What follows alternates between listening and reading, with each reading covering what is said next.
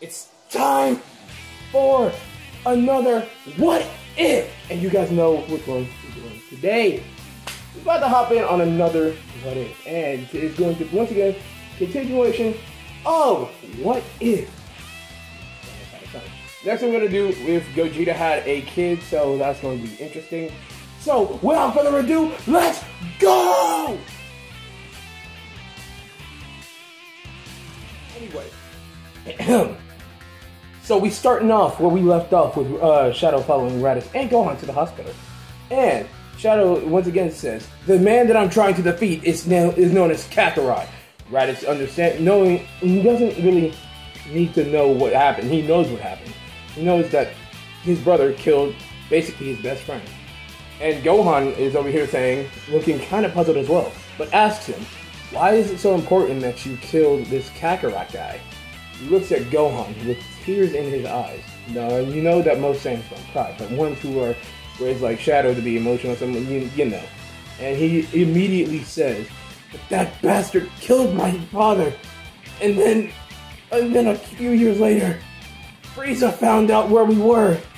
And he sent his men to kill my mom and then that causes Raditz to get to you know get even more mad. Remembering Shadow had already said this before, but still, just the thought of it pissed him off. Before I go any further, remember, guys, if you guys have any more artwork uh, that you guys, uh, before I do anything, big shout out to Mugen Uchiha, my boy. He hooked me up with this beautiful piece of art right here. Thank you, my guy.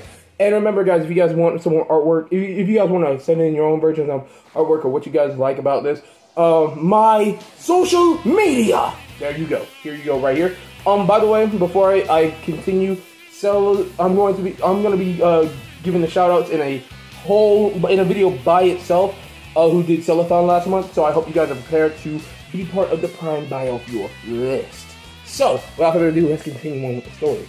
As uh, they finally make their descent to the uh, to the hospital, Shadow is very intrigued by this he thought that Earth was nothing but a group of like savages, nothing but people over here that know how to do nothing but fight. Kind of like how you know Saiyans were. But apparently, he was kind of like the uh, people how they were in his old planet, on the planet he was actually raised on by the old man. So, with that being said, he looks at Gohan, saying, "Wow, Earth is a lot more civilized than I uh, originally gave it credit for. The people here are a lot different. They smell kind of weird too.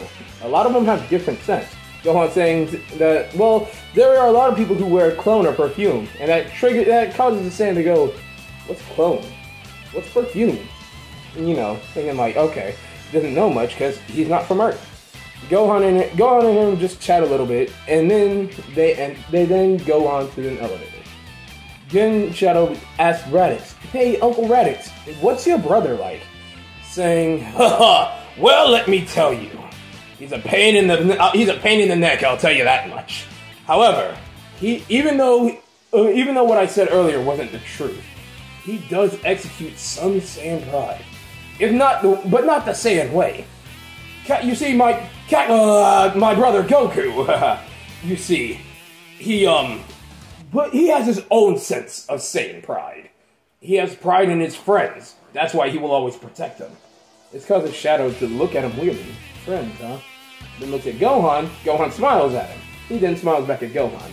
Then, uh, before they could do anything else, before anything else happened, the elevator opens, and Raditz says, "All right, all right, kids, I'm going to go and t- look in my bro- check in my brother. Gohan, keep Shadow company until I come back."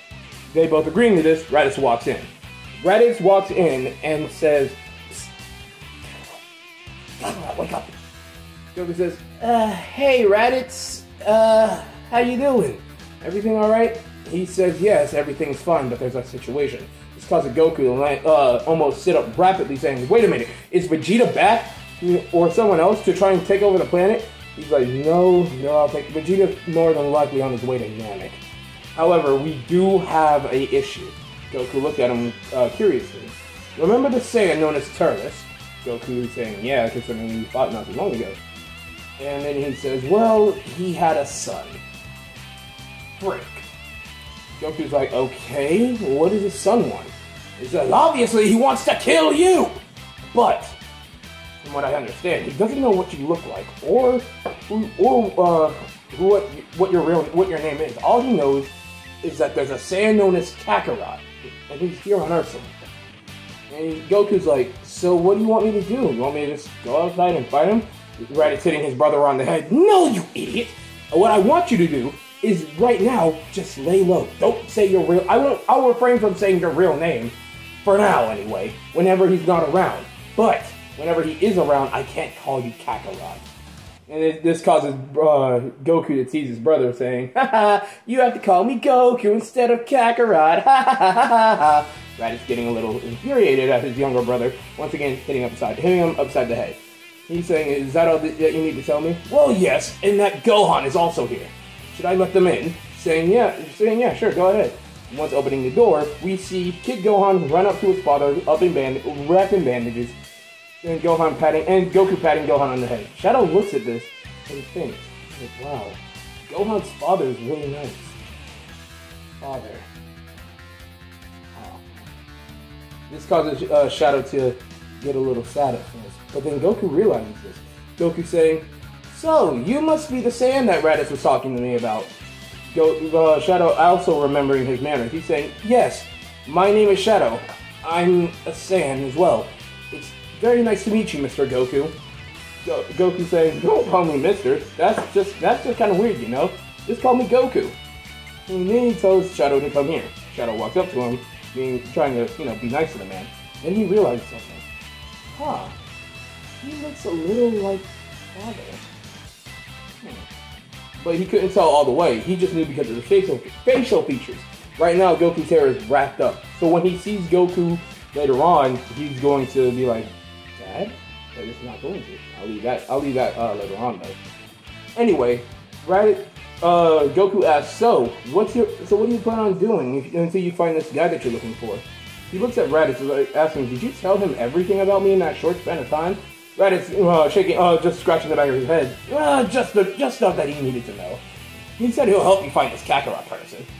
And of course, Goku saying, "Yeah, there's not a problem. I'll help you find this guy, and we'll avenge your dad." Shadow actually being happy. He didn't realize that there were so many nice people on Earth. Little did he know that he was fucking Kakarot. So. So, with that being said, if that's the case, I need to get stronger. But I don't know how. I don't know what I can do to get stronger at this point in time. Raditz saying, "You're going to be coming to train with me. I'm going to train you within the next week. We leave for Namek, and we leave for Namek after that. Once there, we're going to be trying to get the Dragon Balls." Shadow then uh, asks the question, "What are Dragon Balls?" Dragon Balls have the ability to wish anybody back to life, or grant you any wish in general. So this causes Shadow saying, "Wait a minute! If that's the case, I can wish my dad back to life." This basically is like, "Oh crap! If he does that, Turles is not going to happy." So they have to try and figure out a way to not to try and keep Shadow occupied and not have him bring his father back to life. So that's a problem. But Raditz says, yeah, sure, we can bring your father back. Didn't even think that. That didn't even cross my mind. But sure, we can do that. But first, you need to train. Shadow's like, right, I need to go and get stronger. I can't beat Kakarot if I can't even beat the Green Man. So with that being said, Shadow Shadow's about to fly out, but before he does, he asks Gohan if he's coming with. Gohan says, "Nah, I'm gonna stay home. I'm gonna stay here with my father, and then I'm probably gonna go home and see my mom." Then Shadow says, "Oh, so you have a mom too?" This causes Gohan to say, "Yeah, I kind of, you kind of need one." And say, Shadow, but then remembers his mother was also good. And then, he kind of retracts his statement. So Gohan, so then he says, "I would kind of, I want to meet your mom one day, Gohan. And hopefully she's nice." This causes Raditz and Goku to sweat drop because everybody knows Chi Chi will screw anybody up. Everybody knows this. I'm pretty sure if Raditz ever actually did turn it within the actual canon, like this woman would smack him without a doubt. That's all I gotta say about that. But I'm sorry I had to say it. Um, but with that being said, Raditz saying, Well, come on, Shadow, we have things that we must do. In order to train you and get you stronger, we have to start immediately. Follow me. Raditz then jumps out the window like a barbarian and, and flies off. Shadow saying, Well, I need to I need to catch up with him before I lose his scent. See you later, Gohan. It was nice meeting you too, Mr. Goku. And then he flies off as well. Goku looking at the young Saiyan, then looking back at his son. And saying, I think you two are going to be real good friends. Gohan saying, Are you sure about that? No doubt in my mind. fast forward to with uh, not fast forward, but skip over to Raditz and Shadow. Shadow, are, Shadow and Raditz are start are training furiously, and a week and before you know it, a week flies by like that. However, on the on the seventh day, Shadow decides that he's gonna go out and go and get some berries, try and get some food. And what he but what he doesn't uh, realize though, what he doesn't know is that there are some people near him. So while he's grabbing some apples and oranges, um, you know, because I actually like doing apples. Whatever, he's grabbing the fruit. Um, he hear, he smells two people coming near him. At first, he thinks it's uh, rat, it's possibly the Green Man and Gohan, but these scents are way too different to be there.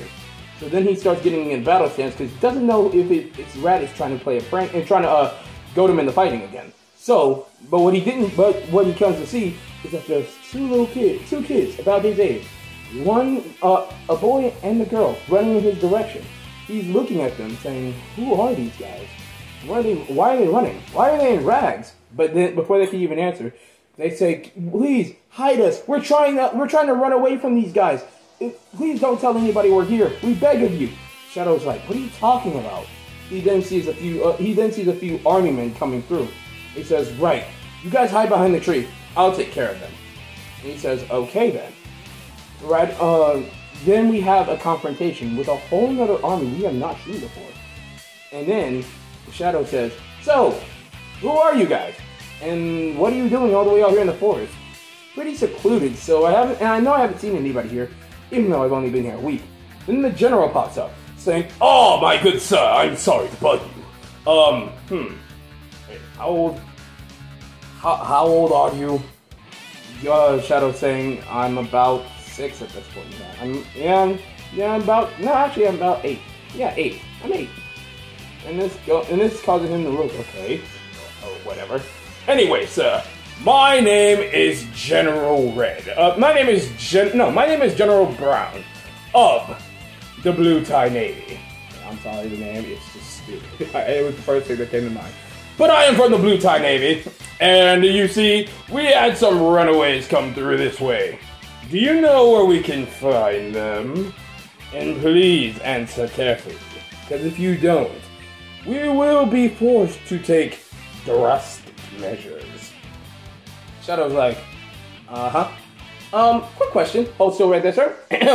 Pulls out a scouter and says, My uncle told me to use this thing whenever I want to see how strong somebody is.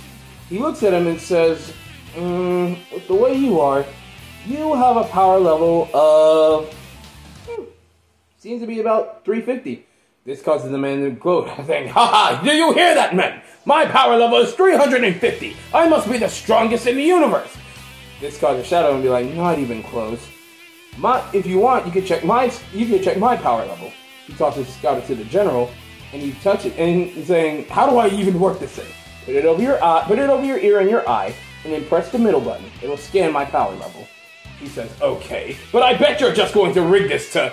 When he, then he shuts up. Notice, noticing that the young lad's power level was now, was, well, before then, he, was, he wasn't much for anybody. But now, Shadow's current power level, even though it's still kind of on the weak side, Shadow's current power level is now 5,000. This causes him. Huh. Hmm. Well, this must be a joke. It's just obviously some cheap toy. Before he get finished, he takes out the general and a few of the army men by himself. Now this leads to the question. What is Shadow going to do about the kids? He can't obviously take them. He could take them to Raditz, but would Raditz just destroy them in the mix, in the mix, or would he actually listen to his uh, nephew? We don't know at the time. So right now we're just going to assume that they're going to be friends. But at the same time, these kids have been traumatized and been through so much hell that you never know. So this raises the question: What's going to be the relationship of three, these three kids? Well, I'll happily discuss that with you guys within the next What If. So, with that being said, thank you guys for watching. Um, you know, I was gonna release this Wednesday, but I had some stuff to do, which I greatly apologize for. Anyway, I'll see you guys within the next video, and peace.